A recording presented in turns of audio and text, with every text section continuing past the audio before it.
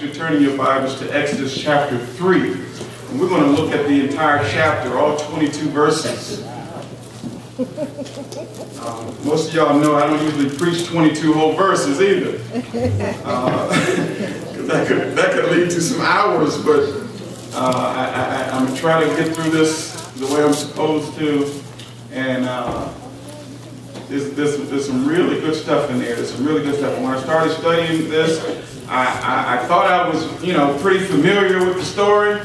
But as you read and reread the Bible, you find that there are things in there that you missed the first time or the second time or the tenth time that you read it. So uh, uh, everybody turn to Exodus chapter 3. If I had to title this sermon, I would title it, I Am. I am your deliverer. Come on here, man. I am your deliverer.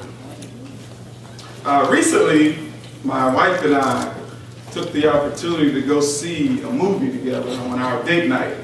We went to go see uh, Exodus, Gods and Kings. Anybody seen that yet? No? Uh, you know, when I was looking at the commercials, I was thinking to myself, oh, they got another biblical movie out. Maybe they got this one right.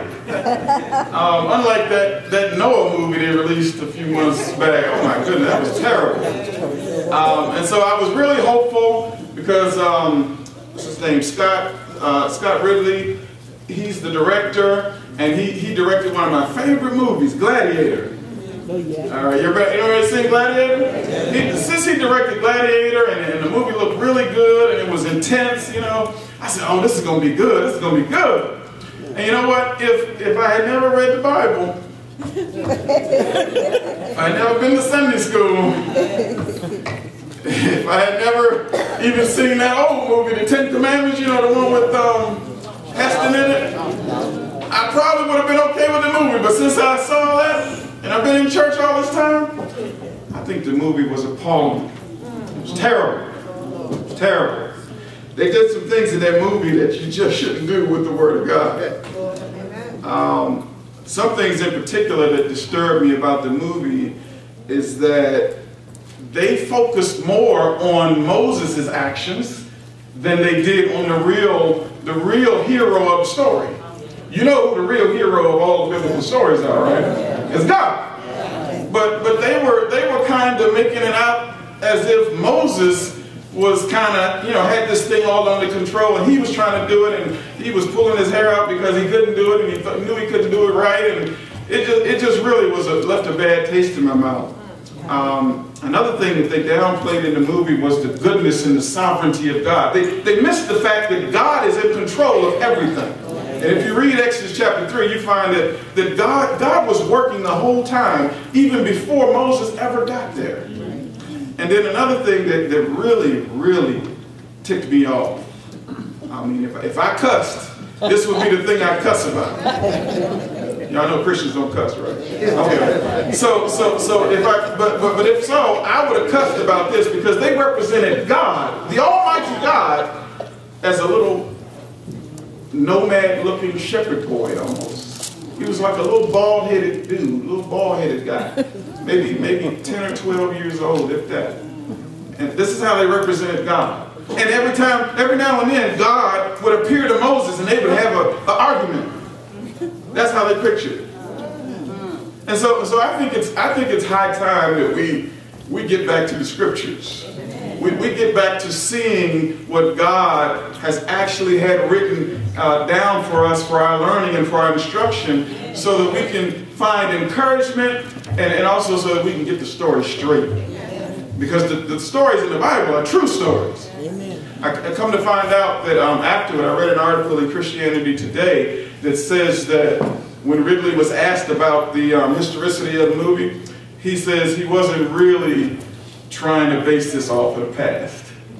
And I, I tell you, he succeeded admirably in not, in not basing this off the real history that we find in Exodus chapter 3. So, so turn to Exodus chapter 3, and I want to read it, uh, at least the first part real quick. Let me just read the first verse before I give you a little background on, on this chapter and where we are in the Bible.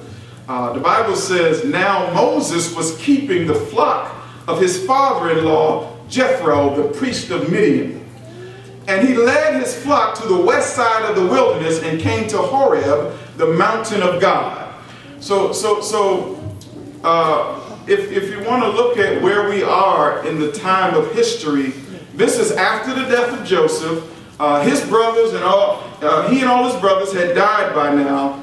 Um, and a new king arose up that didn't know Joseph. Okay? That's how the, the book of Exodus starts off in chapter 1. And, and the people of God, the Israelites, the children of Israel, are growing so rapidly. Growing so rapidly that the new Pharaoh says, you know what? We need to subjugate these people. We need to put them under tax. We need to put them into slavery because they're getting so big that if we don't do something, a war might break out and they're going to go inside with our enemies and fight against us. So that's why they put the children of Israel in slavery. All right? So, so, so what he decided to do to curb the, the tide of the multiplication of the Israelites, because they were multiplying like crazy, you know what? He got this great idea in his head. He said, I'm going to kill all of the newborn male children. As soon as they're born, he told the Hebrew, he, the Hebrew mothers, uh, y'all got to get rid of them kids. Yeah. Y'all got to get rid of those kids. You got to throw them in the Nile. And the Hebrew midwives, as they tried to deliver the children, they went back and told Pharaoh, we couldn't do it, we couldn't do it. Bible says they feared God. They feared what God would do to them more than what they feared Pharaoh would do to them. Yes. Amen. Okay? And, and so they told Pharaoh a lie. They said, by the time we get to the women, they've already delivered the child. They're not like you Egyptian women. They're, they're strong and virile. You know, you know Egypt is in Africa. Y'all do know that, right? I, am just saying, it is Black History Month. So, so, so, so they're strong and virile, and, and, and they, they deliver before I even get to them. They don't even need all that help. so by the time I get there, I can't just take this newborn baby out of that mother's hand and throw him in the river, in the river or oh, kill him. So, so, so, so, so Pharaoh tells his people, y'all start throwing them in the river tells his own people, start throwing them in the river. All right? And um, this is a circumstance that Moses was born under. One, one Levite family, one, one, one family of the house of Levi, a guy by the name of Amram and his wife Jochebed, they had a son, and, and the Bible says that she hid him for three months. She knew that if he was discovered, he'd be killed, he'd be thrown into the Nile River. So she hid him in a basket. She made a little ark. Sort of like Noah's Ark, but the miniature version. Okay? And she, she, she put her son into that ark and put him on the Nile River and let him float down a little bit.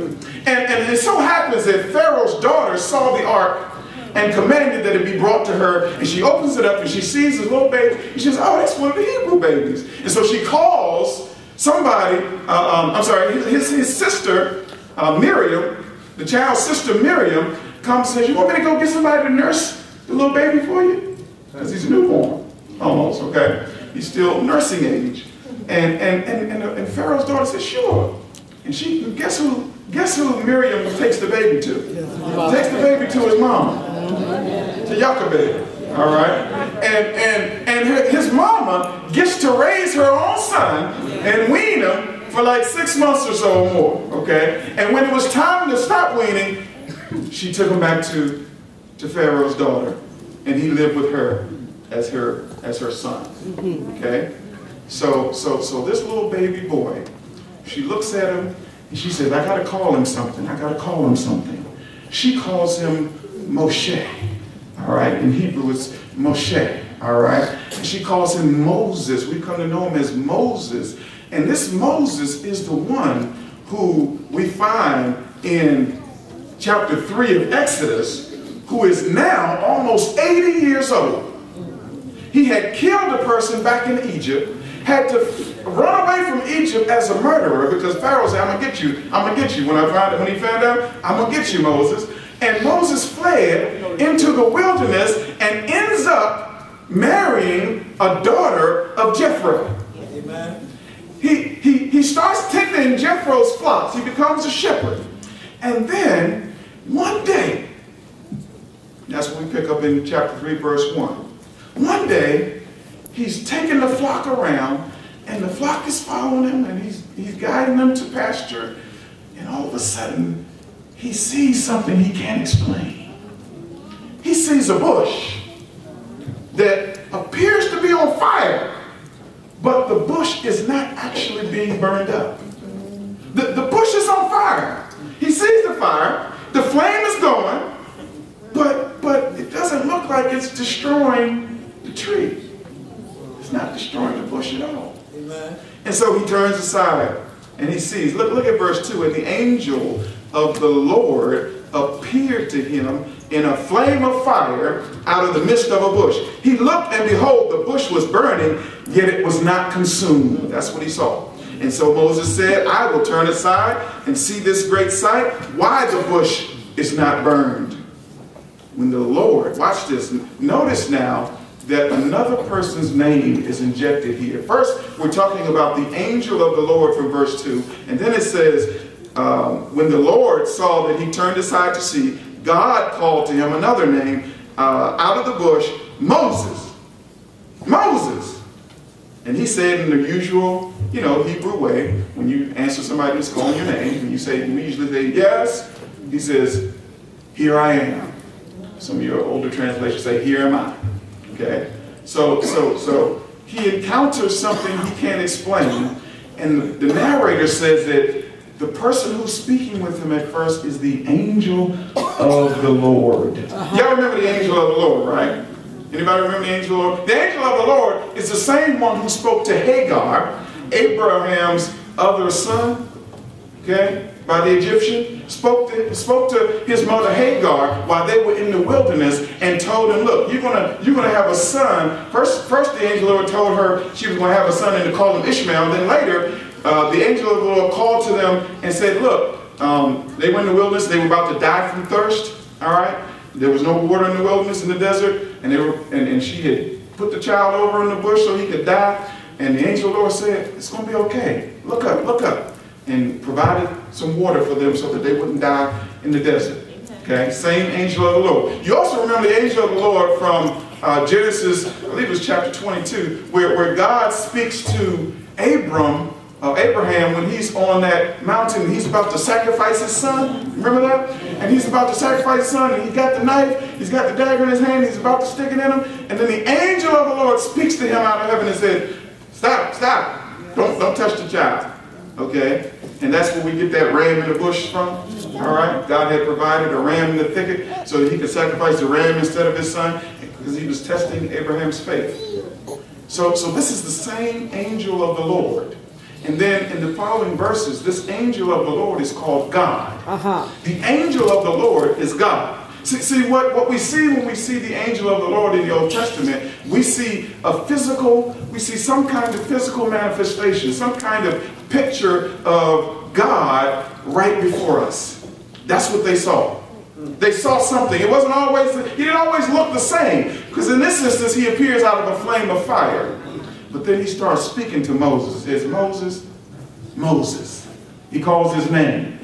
And, and see, in Hebrew, in, in Hebrew culture, when you call somebody's name twice like that, that means that you must know them pretty well. Mm-hmm. That means that you're, you're, you're being addressed by a loving person. In English, you know how we do, we say, I, I might say Freddie, Freddie. I would just say Freddie and then I wouldn't say it twice. See, if, if, I call him by his first name, that means we're on a first name. That means I really love you and and and and, and we got a, a real close relationship. I care for your well-being. That, that's what it means in Hebrew when they call him by two names, by both the name twice. Okay? And because of course he's our pastor, respectfully, I say Pastor David. I don't call him Freddie. because I want to respect my elders, you know. Okay. I have to say this stand up. I was supposed to stand up before the gray-haired man.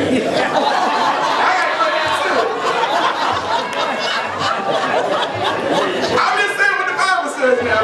So, so, so, he said I'm pushing it down. So, so Moses, Moses being addressed by God, by the angel of the Lord, who himself is God. And, and it says God called to him, he called his name, he says, here I am. And then we see something about God that, that, that we as New Testament Christians, I think we really need to pay close attention to. Real close attention to. Look, look at what God told him in, in verse uh, 5. He says, Do not come near. Take your sandals off your feet, for the place on which you are standing is holy ground.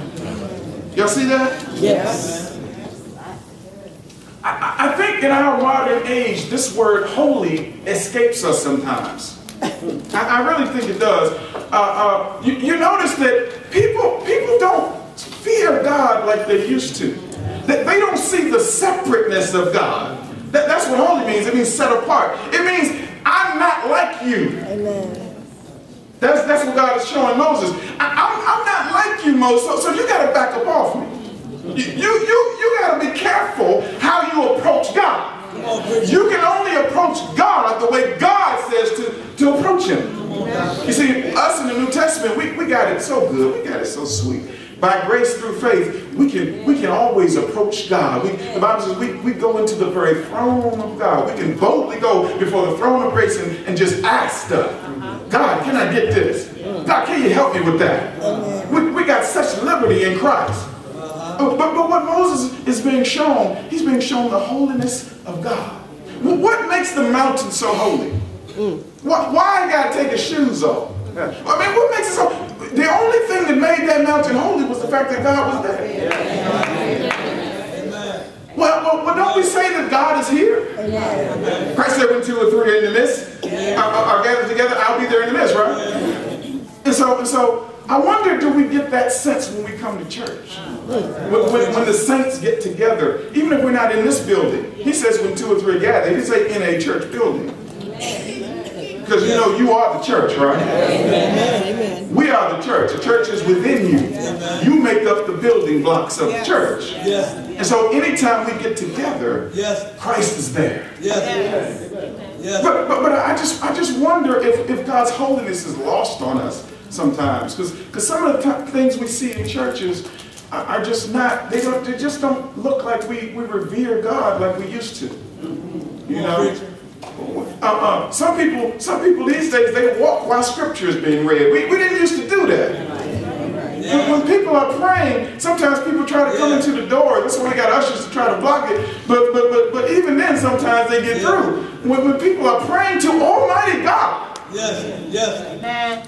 but, but God is holy. Amen. Yes. God is sanctified. Yes. God is not like us.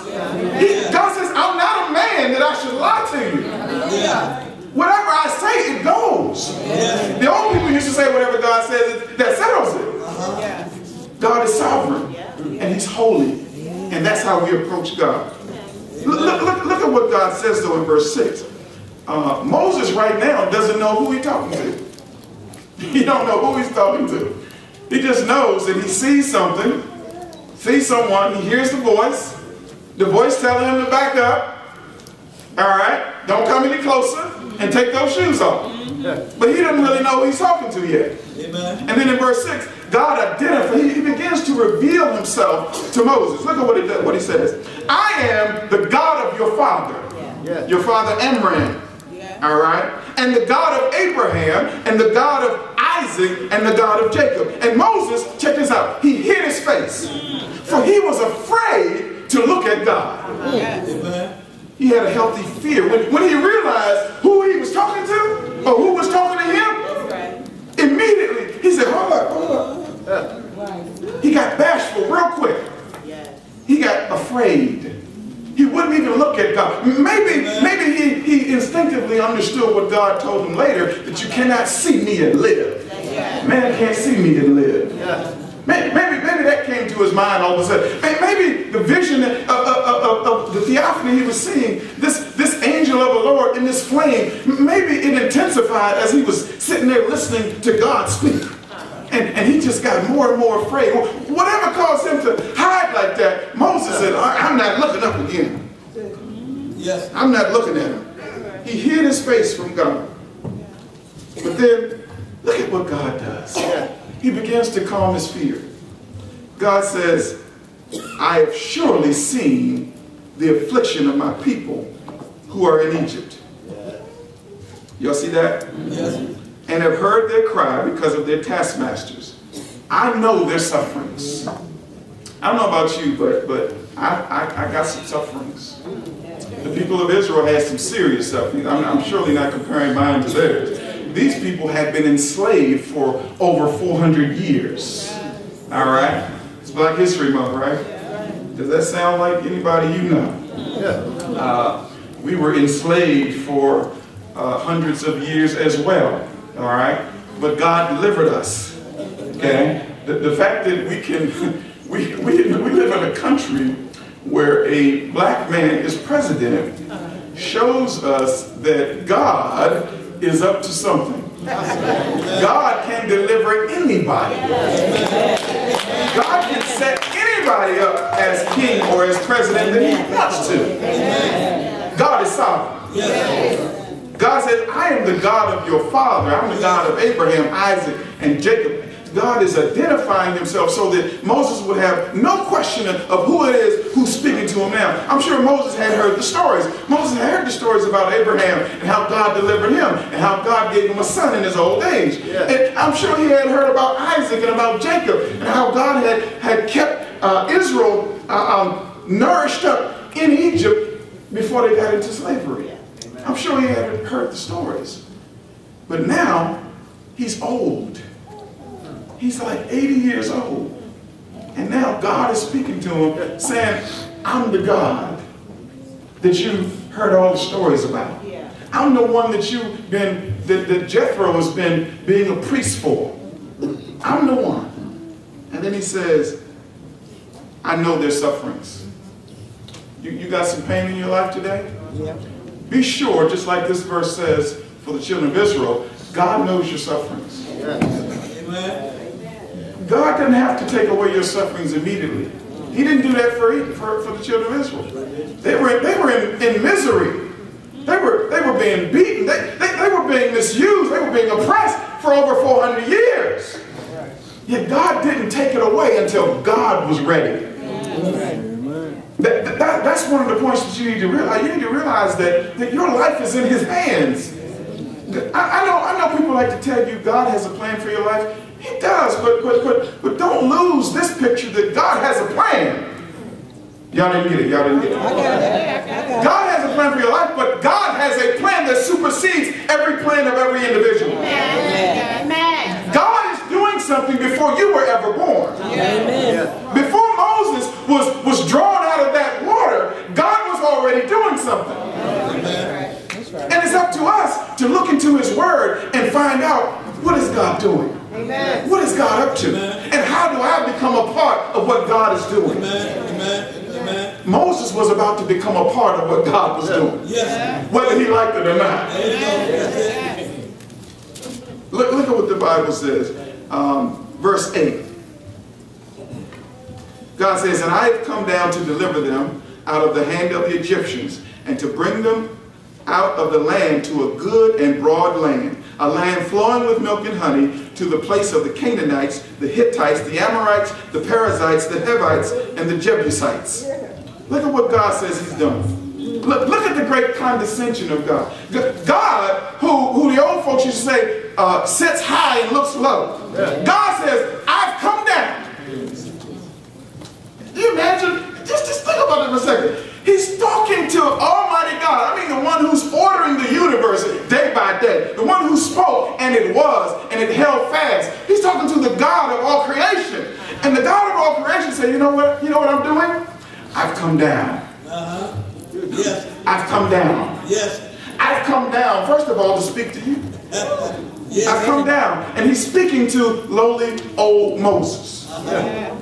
Yes. And, and, and, he tells Moses his plan. Uh-huh. No, notice Moses is not telling God what he wants. Uh-huh. God is telling Moses yeah. what he wants. Yeah. Yeah. God says, I've come down to deliver my people out of the affliction that they're in. Uh-huh. And I'm going to bring them up yeah. And I'm going to move them out of Egypt uh into a land yes. that's flowing with milk and honey. Yeah. A, a, good land. They won't have to want for anything. Uh. They'll have all they need, and it'll be provided by me.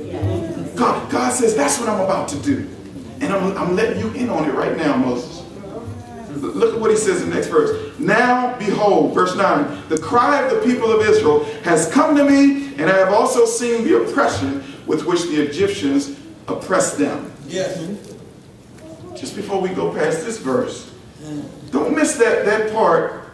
Don't, don't miss what God is saying to, to Moses about his people. He says, I've heard their cries, and I've seen what their oppressors are doing to them. Likewise, God sees everything you're going through. Amen. God, God knows that, that, that you're having problems. God knows that there's some marital issues between some of you. God knows that there's some job issues with some of us.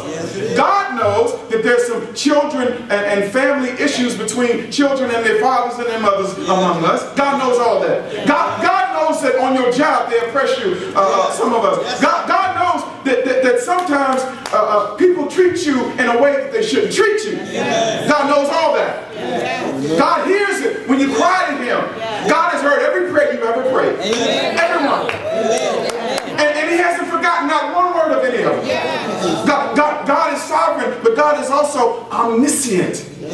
And He's omnipresent. That just means that He's everywhere at the same time, omnipresent. And He's omniscient. He knows everything there is to know, both actual and potential. In other words, He knows what's actual happening now, and He knows what might happen later. And he has the power to control the outcome of every single life in this building. Every one of them. Amen. And he has no, look, it's, it's nothing's too hard for God. He can do it and, and he don't even break a sweat. That's the God that Moses is speaking to. And God says to him in, in verse 10, come, come now. I will send you to Pharaoh that you may bring my people, the children of Israel, out of Egypt. God says, I got a job for you. Got a job for you, Moses. I already told you, Moses, I've come down. I'm the one doing the work. I'm the one who's going to free them. I just want you to come and go as I send you to lead them back to me. You see, Moses had already wandered that wilderness before. Moses knew his way around by now. I mean, he had been there for a long time. So he was, he was well acquainted with the wilderness by now. And he could go back and he could lead the children back to God's mountain. And God says, you know what? I'm going to send you. And he did the typical, he, he gave the typical response that a lot of us give, especially us preachers, we give when, when God calls us to do something. He's like, Moses thinking, hold on now.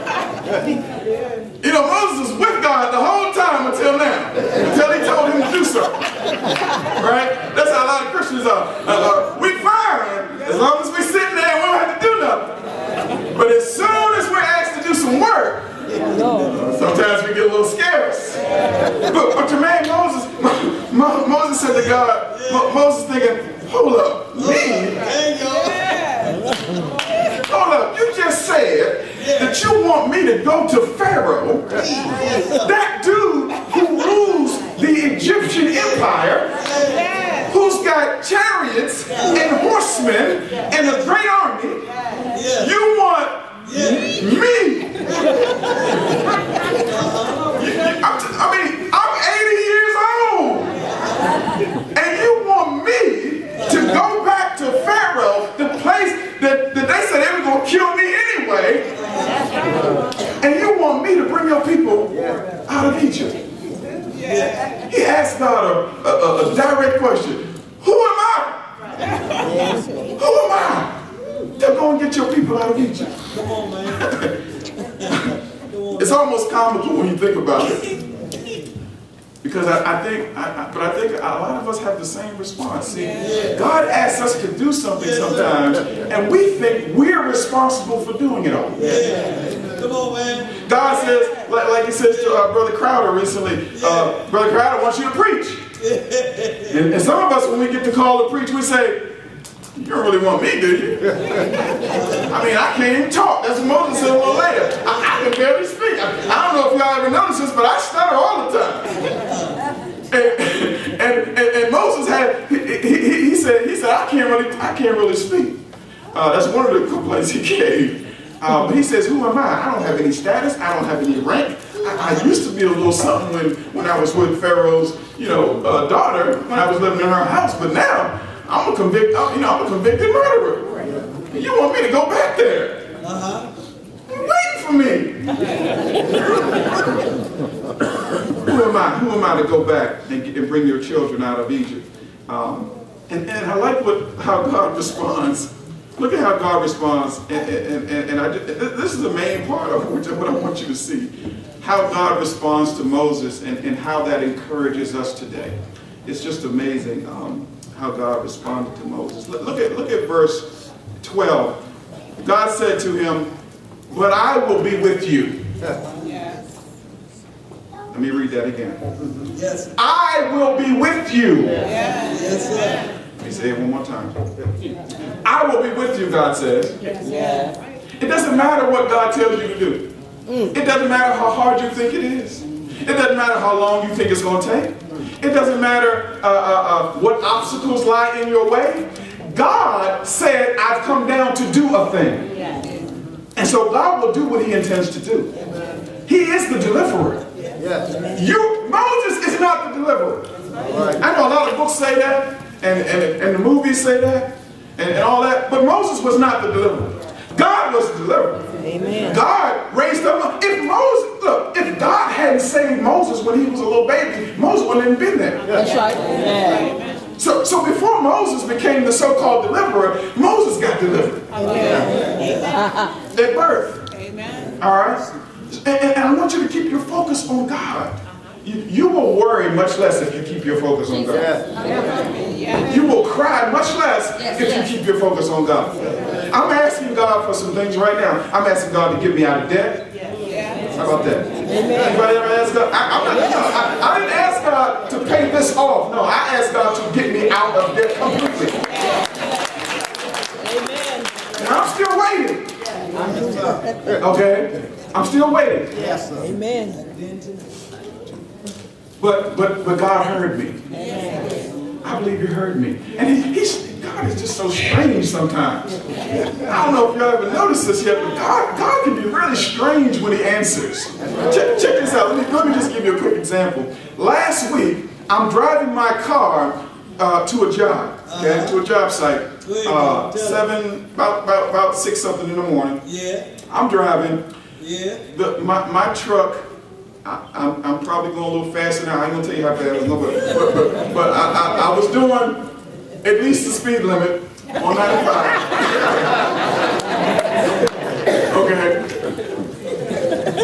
And, uh, and um, all of a sudden, my vehicle stopped in the middle of traffic. It, it began to vroom, shift down and back up. Now, I had the cruise control on, I think. And, and so, even with the cruise control on, it began to shift down. So I slowed down almost, I mean, not to a dead stop, but I slowed down to maybe about 40, 40 miles per hour. When everybody else behind me, of course, is going, you know, 50, 60, 70. And, and then and then to get it back to go up, I had to press on it, but it was over revving. It was like I had to, to get back to the speed I was at, I had to rev it all the way up. So so obviously the transmission was dying, was, was slipping. Okay. And, but I made it to work. Thank God. No accident. Okay. And, and of course, you know how we do. Man, my transmission is about to die. And, you know, I made it to a store when I, when I got, finally got to the site. I went to the gas station. Yeah. And, and another thing that scared me a little bit, I tried, I, I pulled into the parking space and then I backed up and the, and the vehicle wouldn't back up. And that- that definitely told me something was wrong with the transmission. Um, so I cut the vehicle off and I cut it back on and, and, and lo and behold, it let me back up. Back in business for a second. so I went to I went to work, went around the corner, went to the job site, and, and, and, and then after that, you know, it was time to go home Friday evening, and I'm driving home, and it does it again. Oh, Lord. I'm on 95. I'm trying to go to speed. I'm doing about, I'm being a little more careful this time. I'm going about 60. And it does it again. Right? And I'm like, oh God, don't tell me I got to, you know, I got to spend a bunch of money for, uh, for car repairs. I don't even have any money. I mean, I've been, I've been out of work for, for like over a year now. And, and, and I don't, I don't have the money to be paying this. So, so Monday, I get to the car dealership. Yes, sir. You know they're waiting for you, right? Yeah. Oh yeah, they're gonna greet you with a smile. They know they're about to get in your pocket. So, so I, I, I tell the guy, check it out for me, engine light's on. Um, and he checks it out and he comes back to me with the report. The report was seven thousand dollars on a, on a 2007 vehicle. Yeah, right. Okay. So, so, so, and I even got another opinion from a place that specializes in transmission, and they told me that just to fix the transmission, not the other part that was wrong because the radiator is busted too. Mm. Uh, that that's going to cost at least five thousand before you get to the radiator part. Okay. So, so I'm thinking to myself, um, Lord, uh, need a little help. Need a little help. Need a little help, Lord. Need, need a lot of help, Lord. Need a lot of help. First of all, I don't have seven thousand dollars. All right. And and, and, and second, third of all, if I can't drive, I can't do any work. I can't make any money, just like you, right? Yeah. And I can't buy food, and I can't do this, and I can't do that, just like everybody else. So Lord, I need some help. So I cried to the Lord. Hallelujah. Let me just pause here. If, if, if you want to do some crying, yeah. ain't nothing wrong with crying. But who are you crying to? Are you crying to your neighbor who, who can't help you? Are you crying to your brother-in-law or your brother, your sister who really can't fix your problem? I mean, if, if you're going to cry anyway, you, you may as well cry to somebody who can actually help you. So I cried. I cried like the children of Israel. I cried unto the Lord. And, and if you go out in the parking lot today, Yes, sir.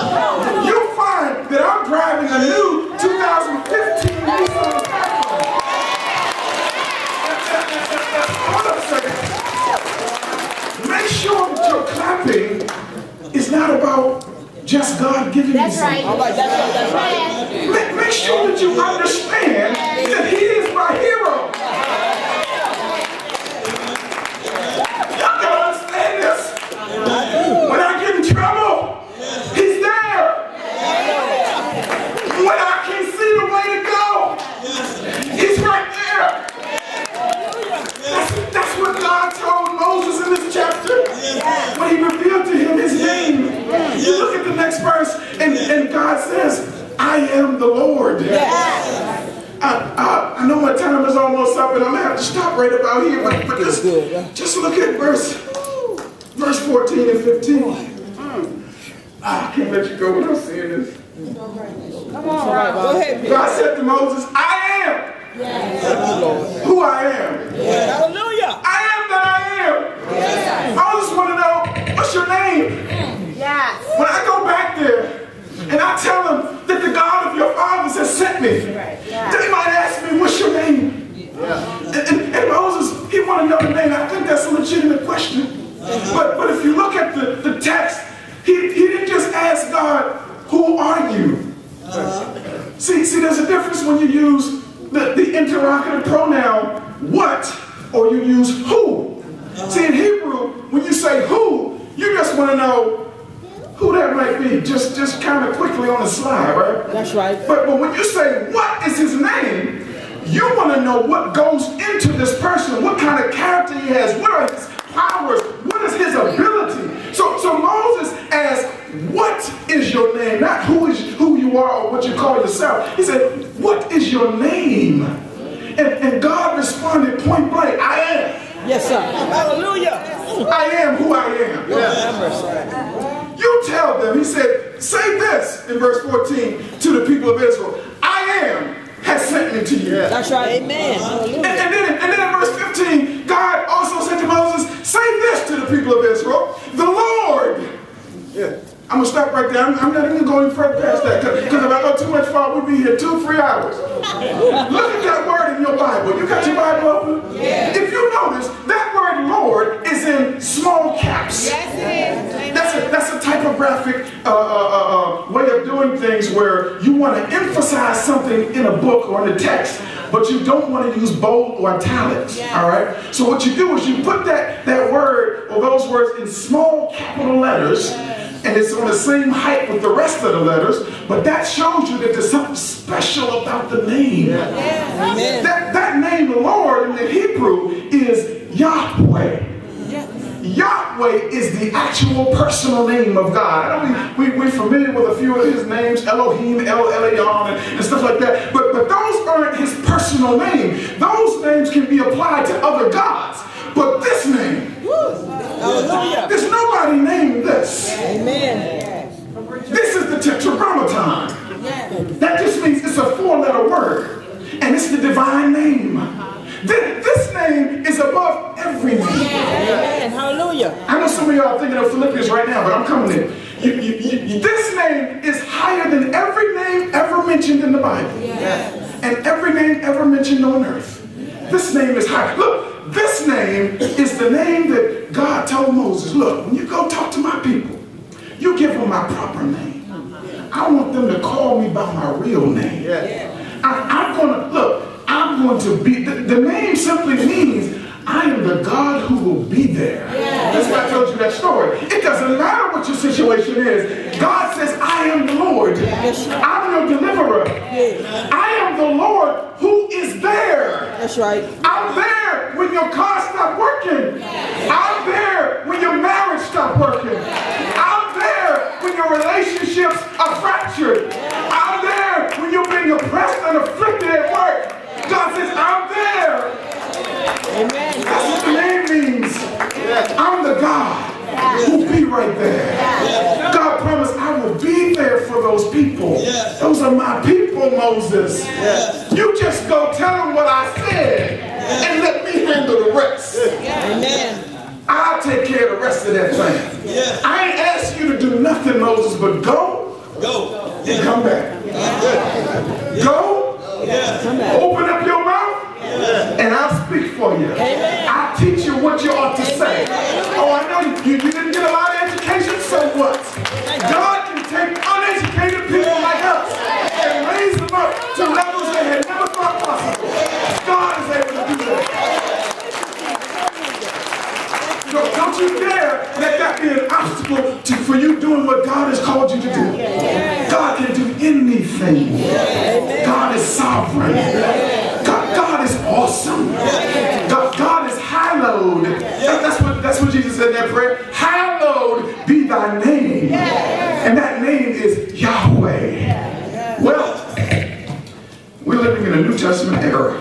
Thank you, Jesus.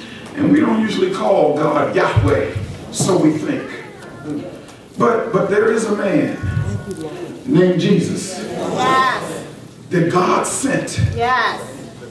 But this man ends up being the, he's actually the son of God. He's God in the flesh. Yes. I know Israel had God walking with them in the fire as a pillar of cloud uh, uh, by day and as fire by night. I know they, they would eventually see his glory on the temple and the tabernacle. But you know what? God did an amazing thing in our time. 2,000 years ago, he had a man to be born named Jesus. And you know what Jesus is? You know what Jesus means? Jesus means Yahweh saves. It means Yahweh is salvation. So when you call the name of Jesus, what you're doing is, is look, look how look how awesome the Father thinks about his own son. He conferred his own name into Jesus' name. And so now when